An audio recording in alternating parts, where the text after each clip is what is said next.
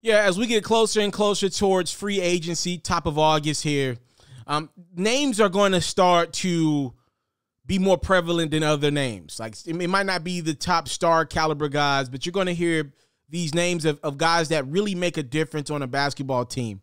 And obviously, that three point shot is one of the most prevalent things we got in today's game.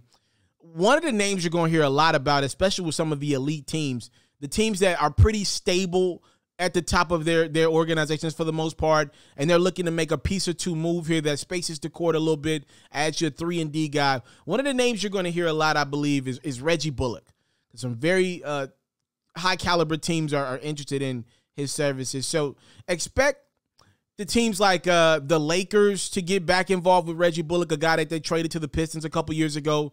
The Philadelphia 76ers are another team that has Reggie Bullock on their short list. The Boston Celtics have Reggie Bullock on their short list. I wouldn't be surprised one bit if Philly makes a move and gets Reggie. He played with the Knicks last year, averaged about 11 points a game, 10.9 to be exact, in about 64 games. So he's a durable guy. You 64 out of 72 games is really good.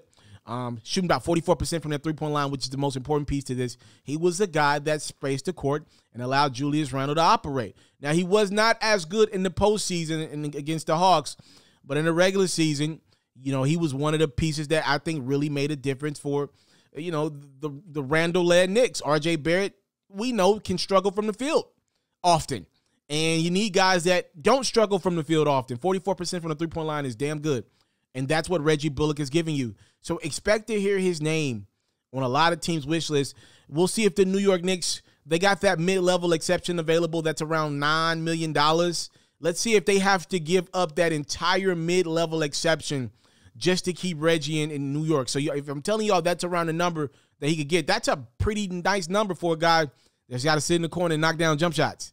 So if that is what it's going to take to get Reggie Bullock, expect to hear teams like Boston and Philly, and if the Lakers could get their hands back on him, they would love to do so. They will have to make a couple moves to do that, but expect Reggie Bullock to be one of those names that you hear a lot. One of the the, the high. I wouldn't expect him to last a day or so in the free agencies. Expect somebody to throw a big number at him that could either make him leave New York or, or maybe the Knicks are the team to say, nah, we don't even want to play this game with him. He's an important piece to what we're building. Let's lock him in for the foreseeable future.